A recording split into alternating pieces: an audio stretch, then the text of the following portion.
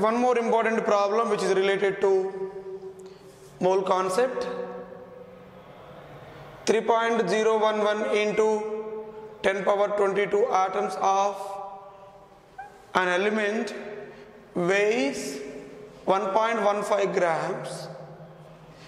The atomic mass of the atomic mass of the element is 10 AMU, 2.3 AMU, 55.5 AMU, 23 AMU. Now, the solution of this one is solution is because which are which is given number of atoms are given so therefore we can calculate which one number of moles now number of moles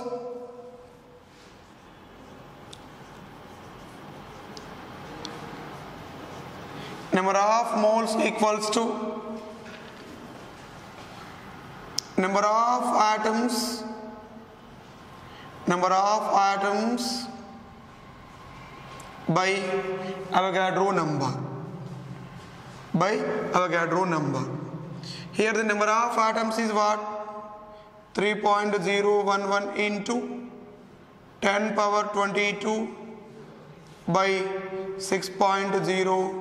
6.022 into 10 power 23 this is 1 za here is what? 2 za so therefore it becomes what? 1 by 2 into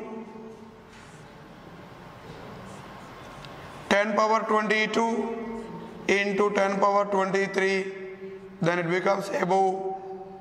1 by 2 means what? 0.5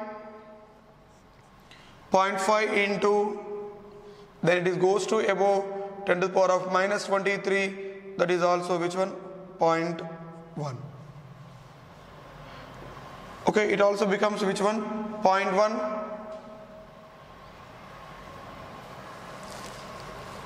it also becomes which one?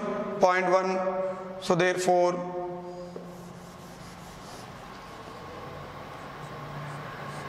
one by two into it goes to above that is what? 10 power minus 1 10 power minus 1 means what? It becomes 1 by 20 so therefore 0.05 0.05 moles. 0.05 moles. So therefore the atomic mass of an element equals to atomic mass nothing but number of moles equals to weight of the compound by mass. So therefore mass of an element mass of an element mass of an element equals to weight by number of moles. Weight is how much is given? 1.15 AMU or grams. By the number of moles is what? 0.05 so both are cancelled. So therefore it is what? It is what? 1 115 by 5 so therefore approximately it is which one? 23 AMU which AMU 23 AMU